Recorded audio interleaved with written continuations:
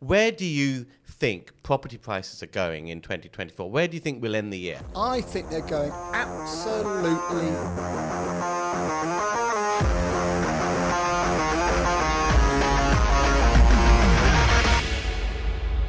So, what to expect from the property market in 2024? What are the challenges, and more importantly, what are the opportunities for you guys to profit from the wonderful world of property? Well, to explore that sub- subject, I'm joined by my very special guest and good friend, John Howard. Hi, John. Am I a friend of yours? You are a friend. Is that official? You are very, very I'm high up on the list. Absolutely delighted. I've got three now. But, but John, you are a property mogul, aren't you? How many how many thousands of property deals have you done in your Uh, career? Over 4,000 deals. Over four thousand 4,000, deals, and um, of course you, know, it- you um, have uh, well, you owned a very successful auction franchise, estate agency as well, yeah. Um, and you've built uh, houses from the uh, sorry uh, new build blocks of flats from the ground up. Um, the Homes for in- England scheme was one of the biggest, wasn't it? Yeah, uh, we borrowed 20 million from, from them to, to build 150 or to finish 150 flats. So I do a lot of part finished where we buy you know, uh, uh, developments that are part finished. People have got into difficulty, a lot of them at the moment, of course. So um, in terms of um, predictions, I've been predicting the property market. This is my 44th year of predictions. Wow. I haven't got them all right, mind you, but we'll give it a go. Well, I'm sure you got a great track record because y- you you know why I know you got a great track record because you're still here. Yeah, You know, to st- still be here in the world of property, which always goes through cycles, and you know, it's like musical chairs. When the music stops, what do you do? Yeah. You know, and the music has stopped at various times in our careers, and we're still here. Absolutely. You know, I've survived three serious property recessions. I don't really think this one is one, to be fair, um, but certainly three others have been. And we've got a lot to cover in this. And of course, um, we are um, uh, fellow angels on the hit Sky TV show Property Elevator. Yes, I'm never quite sure whether that name's right, Angel. But um, you Devil, know, do you think? th- No, Do I think we should be property devils? you said that I didn't, but actually, it's not. That isn't actually a bad title for a show. You know that? Well, what? The property devils? That's right. property daredevils, I should think. Daredevils is probably even better. Yes. But that's been a uh, thrilling ride. And a lot of people uh, ask me, um, uh, do you and John get on? do you know what? They ask me. I always say, no, we don't. oh, you, oh, you started that rumour. I was wondering who started that rumour. Anyway, let's just crack on with some of these uh, some Yeah, of these predictions. absolutely. Um, John, uh, tell me. I mean, I've been listening to you for a few years now, and you've been talking about um, choppy waters and prices are going to go down for some time. Um, but you know, last month uh, property prices uh, nudged up a little bit. Well, if you say it for long enough, you're always going to be right at some point, Ranjan. And if you're buying a lot of property, you want to make sure that the market's uh, depressed as possible. Um, having said that, it has been it's been coming. You you know we knew that interest rates were, were too low for too long. Mm-hmm. You know nothing lasts forever, and it shouldn't have lasted anywhere near the length it did, in my view, and I'm sure other people's and yours as well. I think included probably. So we knew this was coming, and the market and, and property's all about you know, learning from your past mistakes, learning from past history, and property is, is, you know, every 15 to 20 years there's a problem in property. There's a problem. So, and this is a problem, and people are in trouble. Okay, the market hasn't dropped more than 10% probably, unless, of course, you've made a big mistake in developing property. Because in the last three years, how do you survive a 30% increase in, in mm-hmm. bill costs, a doubling of interest rates, and a property market that's gone down 10, 15%? Now, it's a micro market, and you might say in certain areas it hasn't gone down at all. In other areas, it's gone down a lot. Let me ask you a question. Where was the most where was the poorest performing city or town in the UK last year? Poor. And how much did it go down? I don't know. Go on. Stoke, 24%. What was the best? I don't know. Huddersfield, up 22%. That just shows the spectrum. That just shows the spectrum. Spot on. Absolutely. But the other thing uh, to think about is that with the areas that have gone down, Yeah. the situation is probably worse than that because what we're talking about is prices. We're not looking at inflation adjusted prices. And even Huddersfield has probably gone down when you inflationary adjust. adjust. Well, inflation has been a big, big problem.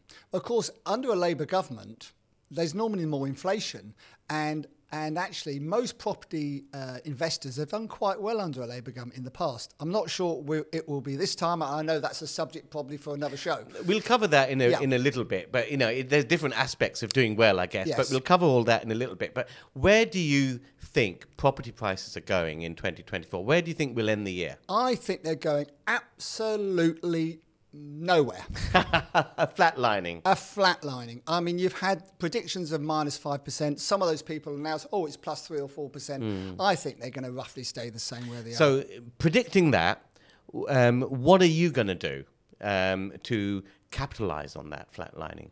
Well, certainly, I'm not anticipating any price increases. Mm-hmm. Uh, a lot of people uh, this year, I think, the optimistic ones maybe saying, oh, the market's going to go up 10%. I'm going to build that into my deal. You know, I can afford to pay 5 10% more for the property. That's crazy. I look at what it is now and I reduce my price based on the fact that the market might drop 10%. mm hmm So I, I'm building uh, safety into every deal I do. Now, you can argue, well, that's okay for you, John. You've got better contacts than some other people and you're buying distressed stock, mm-hmm. which, of course, not everyone can do. I understand all those things. But it's very easy to kid yourself that things are going to be better, everything's going to be rosy. You know, and it isn't. Mm-hmm. It isn't. It's still going to be tough. Interest rates are going to come down a little bit, but a little bit. You know, they're not coming down to anything like what they were. When we talk about property prices, um, people talk about averages and we talk about micro markets, different places, sure. but there's also property types. And I know you do yes. a lot of new developments, yes. and new developments are often more, um, uh, they're more sensitive to prices, price falls at these sort of times. How have you found that market from a seller's point of view? Well, what we find is with the new build, um, the, the, it's like building and buying a new car. Mm-hmm. You know, if you build, if you buy at the start of a development, people say, oh, well, buy, buy at the start of development because um, the market will just increase as the development goes through, the estate goes gets built. But, act, but that's fine in an inflationary market. But when it's not an inflationary market, these house builders will start discounting like hell once mm-hmm. you've bought if you're not careful. Yes. And yes, if you yes. try and sell a second-hand house when they're still selling new ones, you've got no chance because they've got all the incentives they can give you, the stamp duty and everything else. Probably they might be paying for people to the solicitors' fees and so on. You're in trouble. If you buy a new house at the moment to live in, live in it. Don't try and sell it in six months' time because you'll probably take a loss. So, John, I know you're completing some new build developments uh, up and down the country. Um, are you worried about the sale prices of those in, in the current market? No, I couldn't care less. And Go the on. reason I couldn't care less is because we we we bought at the right price. Yes. We bought the site at the right price. And at the end of the day, you know, if they go for 10,000 less than we think, well, so be it. I don't think they will because we've been pretty hard on the prices in the first place. And of course, selling is always in the buying is always, sorry, selling is always in the buying. So mm-hmm, if you buy mm-hmm. right, you can always sell right.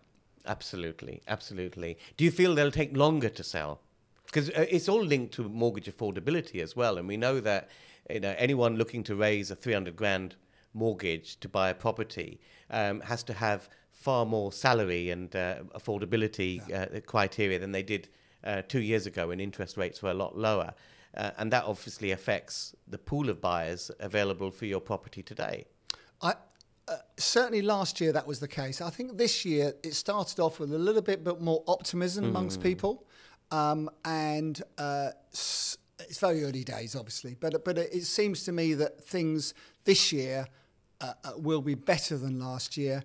I mean, last year mo- most of the major house builders and most estate agencies, including ours, our group, we were down 30% on turnover. Mm. And most of the house builders mirrored that. They were mm. down 30%. They were building, sorry, selling 30% less houses than the year before. This year, I think they'll be 15% down from where they were two years ago. So they'll be 15% better off than they were last year, but still 15% worse off than they were two years ago. Interest rates. I mean, they've been going up. We've had 15 consecutive rate rises and all the rest of it. We've peaked now. People are talking about them going back down again. Um, where do you think we'll be at the end of the year? Well, I don't think there'll be less than 4% base rate. And of course, if you're borrowing money to develop properties like we are, it's not going to make a lot of difference. You know, um, most of these banks now, if you're borrowing, uh, are 11, 12%. 11, 12%. Investment, I've got some, in, I've got, you know, some um, in- investment properties where I'm, you know, I've, I've fixed for 15 years at 4.1% two years ago, but I've also got some stuff that is at 6%. I've got commercial that's at 5.1% fixed. So is, you know, it's all 5 to 6% seems to be the benchmark for investment investment loans. But all the um, uh, uh, interest rates have peaked. They're coming down a little bit, but still, for all the people coming off fixed rate mortgages, um, it's still going to be a massive increase for them to um, opt into an, another loan product when they come off those fixed rate mortgages. That's going to affect the property market a little bit, isn't it? That's why I think it won't go up.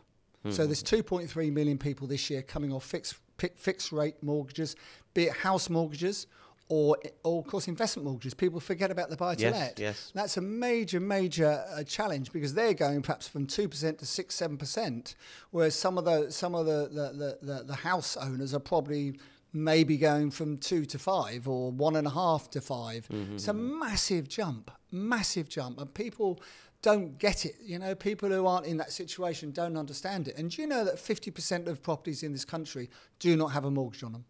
50%. That's a lot, isn't it? It's amazing, isn't it?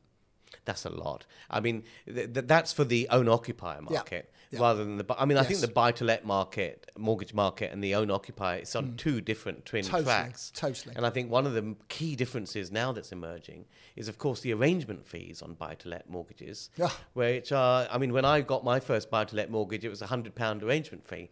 Now they're talking about seven percent of the loan. It wasn't even called a buy-to-let mortgage in those days, was it, Ranjan? Just called a, it just it just called investment investment Well, something loan. like that. Yeah, I mean, but when they were when buy-to-let mortgages were introduced, Yeah. I mean, the lo- arrangement fee was literally just um, for doing basic admin. It wasn't seven percent of the loan, but that changes the economics of things. Totally, because you have to add that seven percent on onto. You say, "Oh, I've got a great rate," and, and no one tells tells you that. Yeah, but I've had to pay seven percent to, to, to get it. I mean, it's a joke, isn't it? It, it? You know, you're either paying the money up front, or you or you're getting a slightly less interest rate, but you can't have both, basically, can you? We talked about um, residential prices um, and flatlining, and I agree with you on that.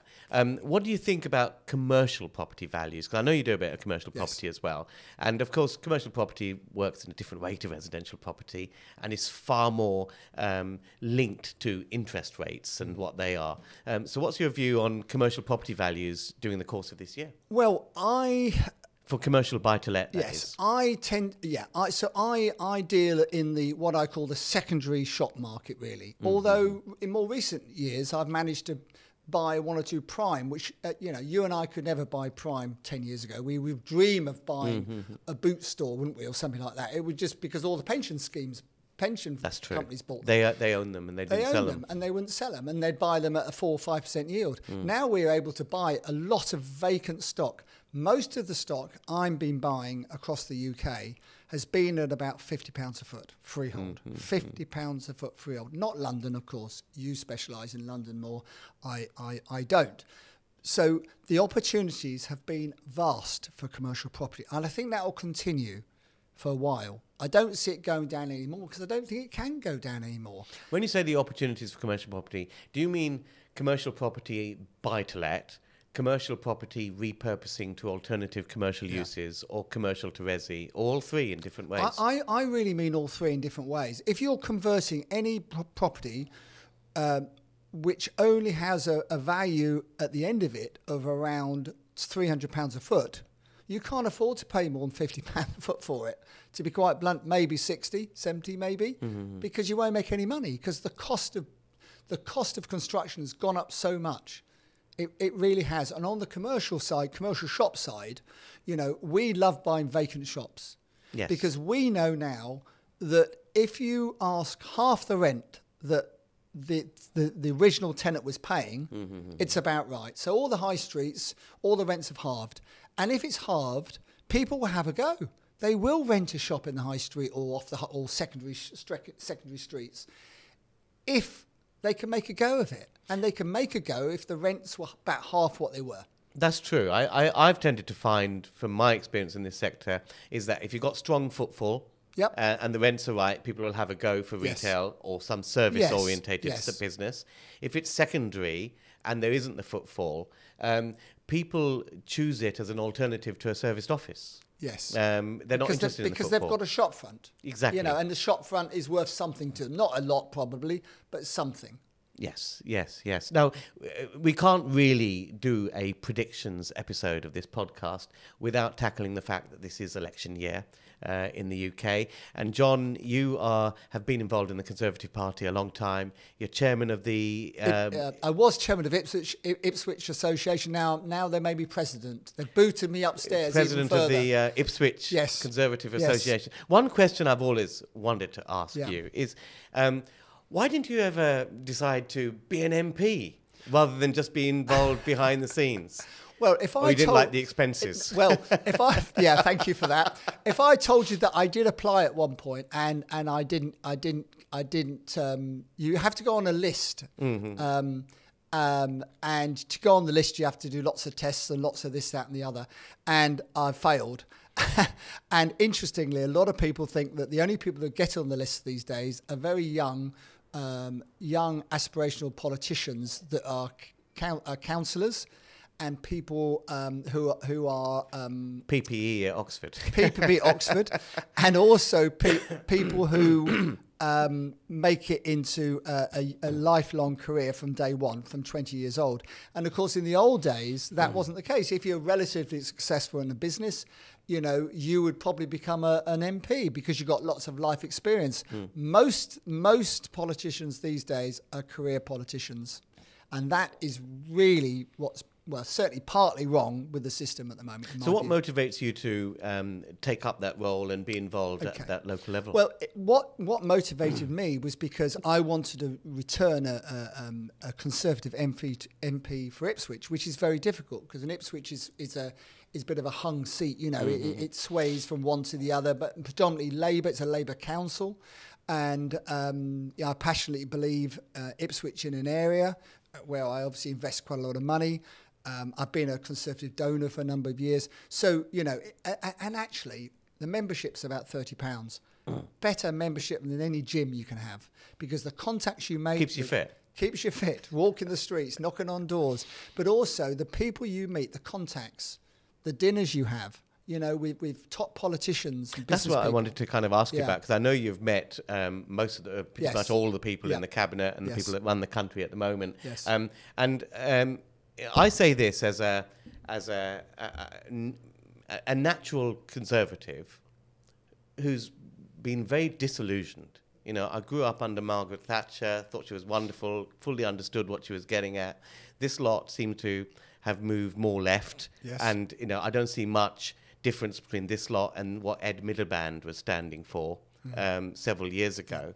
Um, what do you say to people like me who feel disillusioned, but they feel their natural home is conservatives, but they just feel disillusioned by what they're offering for I think- business and yeah. property and I- everything? I, I mean, I, I feel in many ways the same way as you do, and many people of our age group do. And I would say that just cast your mind back to a Labour government because we can, we actually can. Of course, if you're under 35, you've never ever seen, or under 33, really seen or a Labour government.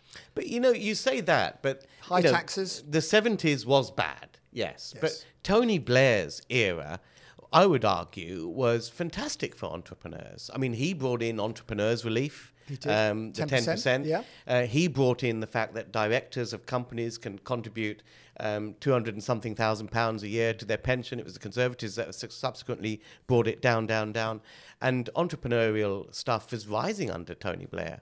It was, but I think Tony Blair was a conservative in, in Labour clothing, wasn't he? That's true. Uh, a good private school boy. Uh, what I would say is that under most or all Labour governments, just about uh, tax goes up, Mm-hmm. and we're paying a lot of tax in this country already. And the trick is, as soon as they get in, they say, "Oh, it's a lot worse than we thought." The ones who can afford are going to have to pay more tax. Okay. If you take the view that, that there's not much difference between the Conservative and Labour, they're all pretty lefty, quite frankly, why should us as property people be worried or f- why should we fear a Labour government? Or That's should a- we? That's a great question. In terms of inflation, uh, a bit of inflation has never done any property developer or investor any harm. So under Labour, you get more inflation. Normally, they spend more if that's possible. I mean, we've had COVID. So, I mean, to be fair to the Conservative government, they haven't done a great job, in my view, on certain things, but they've had a hell of a run. You know, you've had COVID, Brexit, whichever you think of Brexit. I was a big Brexit supporter. Um, it hasn't been hasn't been rolled out as as it should have been in my view. Maybe perhaps because of COVID, we were perhaps too generous over COVID. You know, this people in this country now uh, think whatever's wrong with the country, it's the it, it, it, it, you know it's the government's fault. They don't stand up and think, oh, it might be my fault. You know, I'm overweight. Why is that? Oh well, you know, too much cheap food. Well, you eat it. You know, so you've got to be responsibility, uh, have some responsibility for yourself. For things like buy to let, for example, um, you know, the, the with the um, renters reform bill that the Conservatives have brought in, you know, I mean, how much more in favour of the tenant is legislation likely to go? Well, I mean, it's, well, I think gone I think pretty far enough, I, I'm it? glad you teed me up on that one. Go on then. because, because you know, under Labour, if you think Michael Mm. Gove has been a bit of a dick, to be quite honest with you, uh, for the landlords, and he has been, by Mm-hmm. the way, uh, mainly because the buy-to-let market has taken out all the first potential first-time buyers. Because if you can sell a property to a buy-to-let investor or a first-time buyer, you're always going to sell it to a buy-to-let because it'll be easier. So what they've tried to do is change that round, change that, and, and bring in large investors from America and these big funds that want to build four or five hundred flats at a time and rent them out, and do away with the small private landlord. The fact is they can't afford to do get away with the small landlord because because it, what is it four, five, six million people they uh, accommodate. So it, it's a problem. But under that Labour, sounds very stupid logic. it is stupid logic, but that's Um, what they. build but that's, more. Well, build more, but of course that's been a major, major problem. Over the next ten years, we need to build 1.6 million more houses above the 300,000 they're meant to be building. The truth is, they need to build 500,000, 600,000 houses a year. It's never going to happen under Labour. They will build more social houses. And by the way, if uh, uh, you know, with the so, with the social housing requirement, when you do a development, it's it's now um, thirty percent over ten units, basically.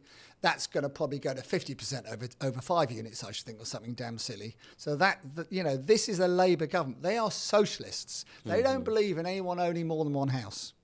Are you worried by some of these musings um, by some Labour people about um, if you have planning permission on a field somewhere to build something, but you don't implement it in a certain time frame, they're going to take it off you or charge you this, that, and the other? Yeah, compulsory purchase it.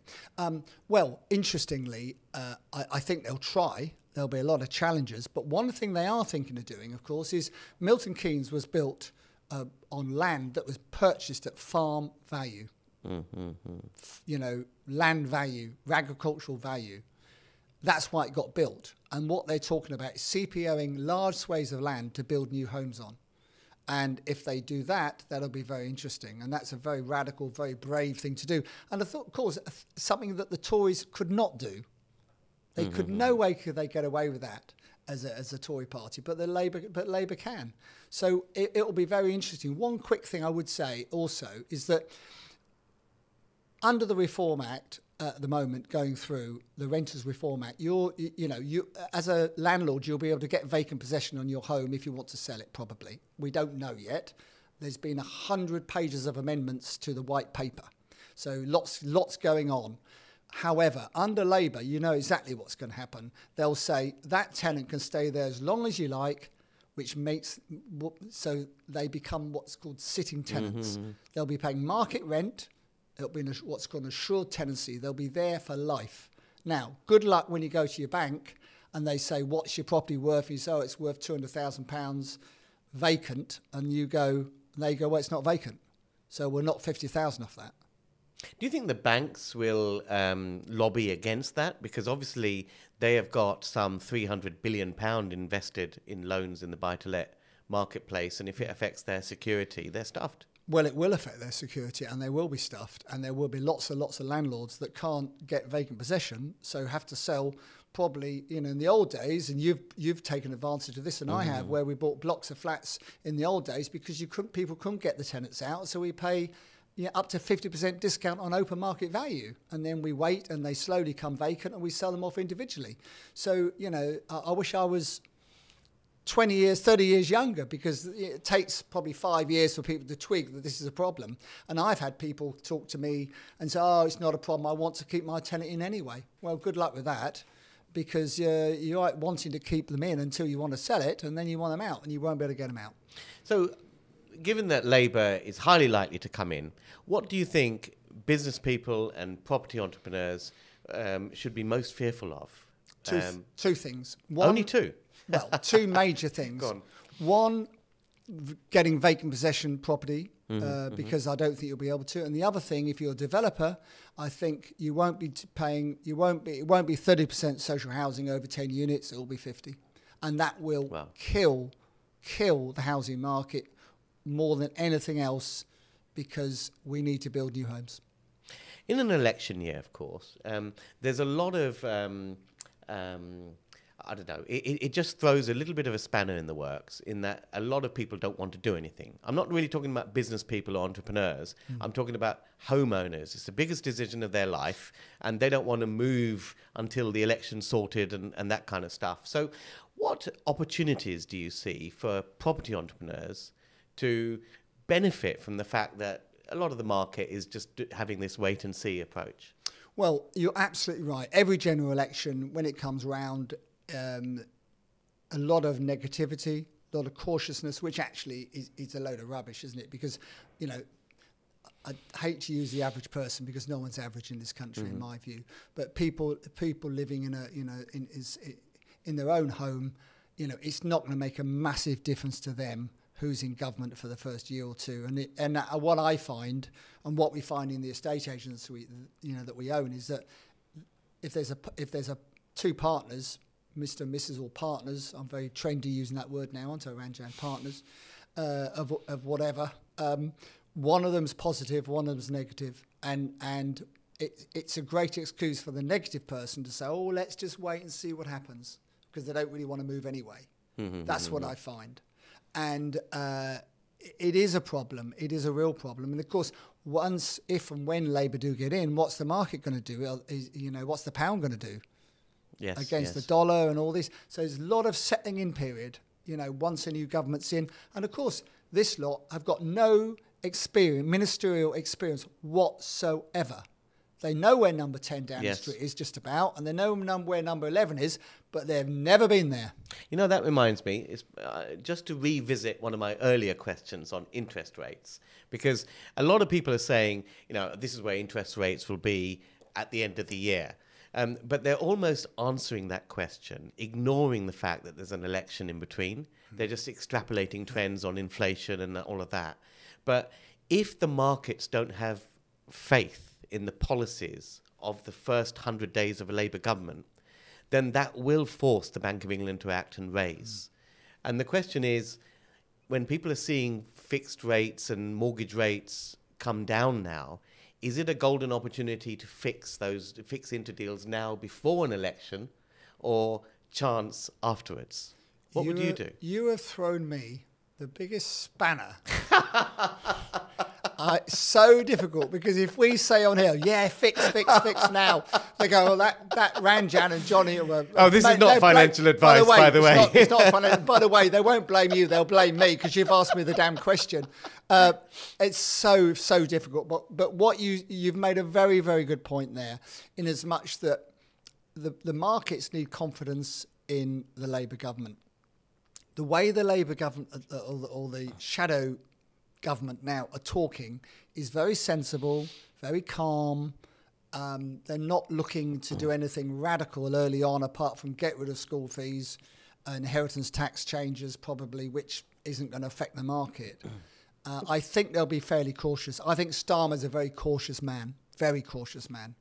Um, and I think the first 100 days, the temptation would be to change everything. But I, I, in my experience, it takes time to change things. They might change the odd thing and make a point, but I think overall um, it will be fairly steady. Um, so I don't think it will make a huge difference to interest rates. But of course, the Bank of England are independent. Uh, uh, and um, the governor of the Bank of England hasn't exactly covered himself in glory. He's got inflation wrong, he's got predictions wrong. So, uh, you know, who knows? When I asked you about the biggest fears of an incoming Mm. Labour government, you didn't mention anything um, about tax on Mm. property developers, buy to let landlords, or anyone doing any kind of property Well, I didn't because I thought that was pretty obvious, Ranjan. Go on Uh, then. tax under Labour government will go up. I, I mean, I can see the high net worth earners uh, paying uh, sixty percent tax eventually. I think they'll say as soon as they're in, they'll say, "Oh, we didn't know it was this bad. The ones who earn the money will have to pay." That's what I think will happen. Wow. That's uh, well. I hope that doesn't happen. So do I. But um, you know, a lot of people are highly mobile these days. Do you think that can work? I, I think absolutely, and I, I think they've got to be very careful because, like you said, if you've got an internet company, uh, you can be you can be sitting on a beach in Dubai doing your work, can't you? Absolutely. So, um, in a, uh, what's your view? I mean, I know you do a lot of you do a lot of everything really, but um, in a market where things are a little bit uncertain, is there an argument for saying, um, okay, instead of doing a new build project whereby it can take three four years Yeah. before you are at a point where you can sell, is it better to switch to permitted development type of projects where the fabric of the building is already there and you can be in and out in a shorter horizon and it's more predictable what the market will be at that end point because it's maybe only a year away. That Do old you have a view on that? that old chestnut. Yeah, that old chestnut. Yeah. PD or ground up? Um, well, they're very, very different. So I see PD as a stepping stone between investment and property development because it is it is simpler. It's not it's not simple, but it is simpler. And yes, it can take less time if you get it right. And of course, if you if it takes less time, you can afford to um, accept less profit because if you can turn your money twice in the same time as you can do a longer development, then the longer development needs to be much more uh, profitable in the first place. So, um, in a market that's that that, that, that is unpredictable and uh, challenging, speed is the speed is of the essence. What that is, of course, unless you look and say, well, we've had a bit of a tough time. Where are we going to be in two years' time? So we're now we haven't done any conversions really uh, for two or three years because I didn't want to be finishing conversions in the middle of a, of, a property recession or whatever you want to call it. But I'm putting my head above the parapet now, and I'm thinking, and I've got a couple of deals we've just agreed, care homes to convert into 20 odd flats and so on, and I'm thinking, where am I going to be in two years' time? We're not going to be in this situation. Interest rate's going to be lower. Uh, the market will probably be having improved. And by the way, the market might improve very quickly this year, of course, if they bring back help to buy, which they might do if the election's going to be in November, which I think it will be in November.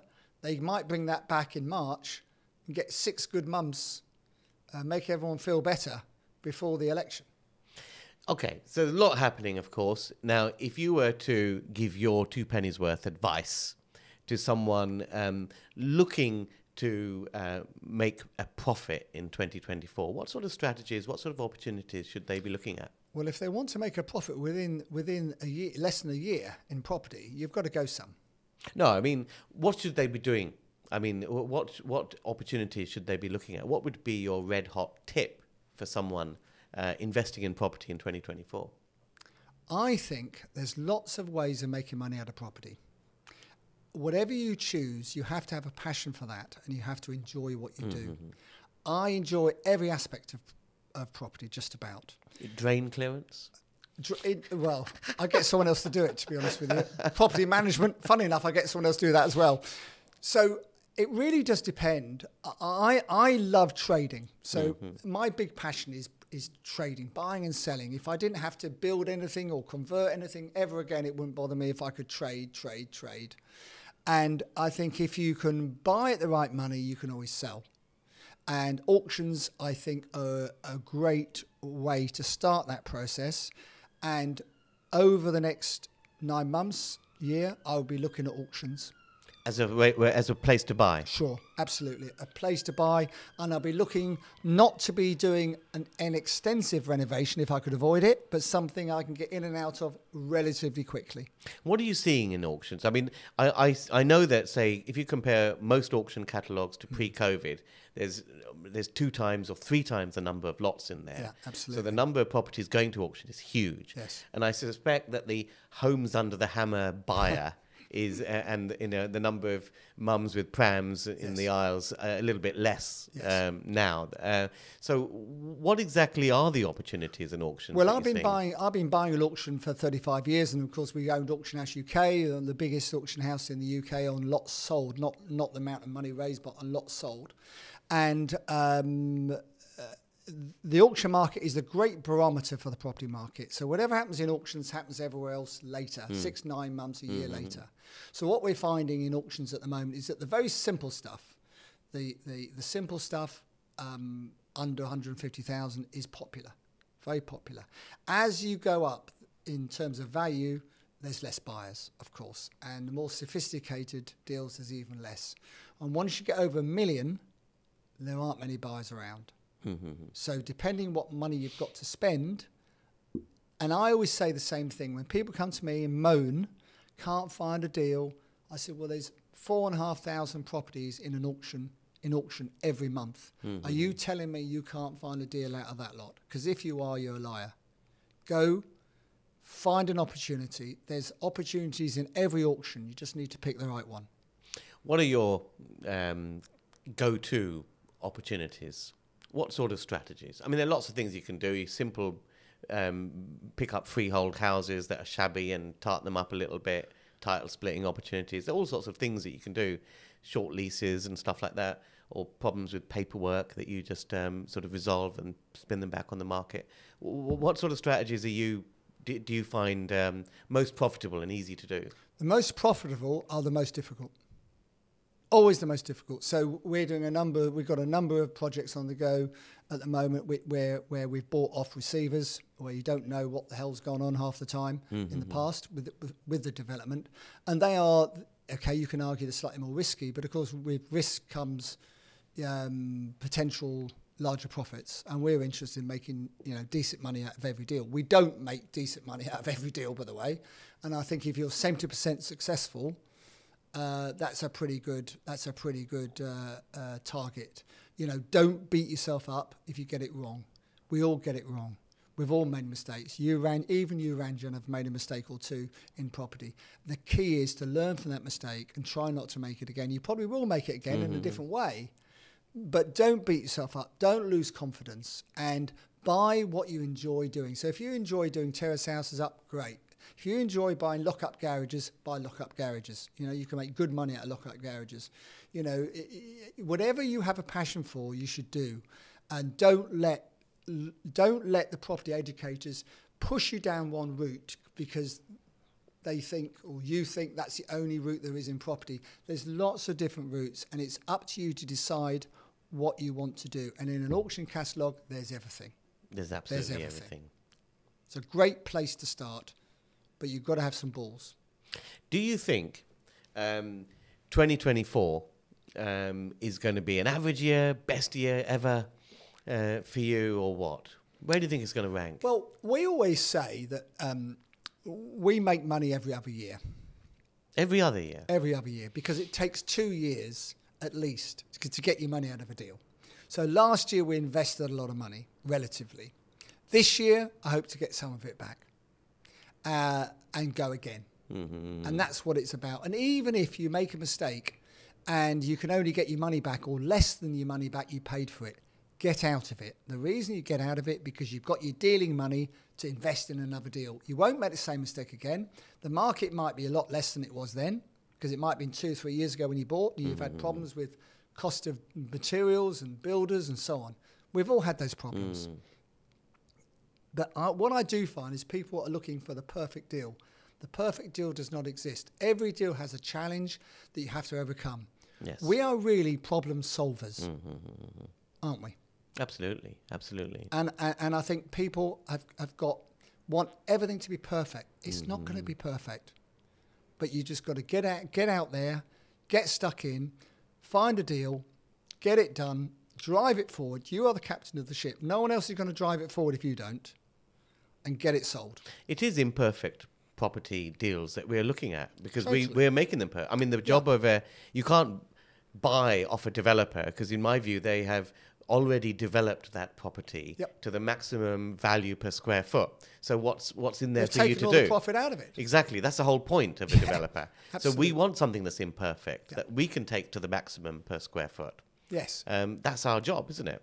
totally that's our job and and that's what we all we all try and do i mean we're realistic on prices because we want to get things sold quickly you know I get people that contact me and say, "Oh, I can't sell it. I'm not letting it go for a penny less and so on." I go, "Well, more for you because if you sell it for 20, 25,000 less, you get your money out, you go again. What's wrong with that? Oh, well, it's a principle. Well, if you've got principles, don't be in property. Because to be honest with you, principles or being too proud, you know what happens after pride? Comes a fall. Exactly.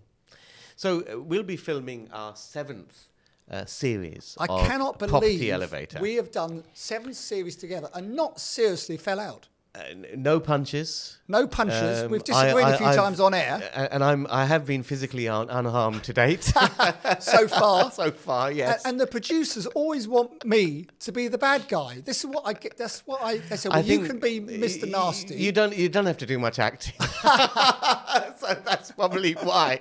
But no, what I wanted to ask you on on the sort of prediction segment, if you like, is then you know uh, we've pretty much been in the show since the beginning. We have, yeah. And the character of the deals that get funded changes from season to Yes. season, Yes. depending on the property market and what's going on.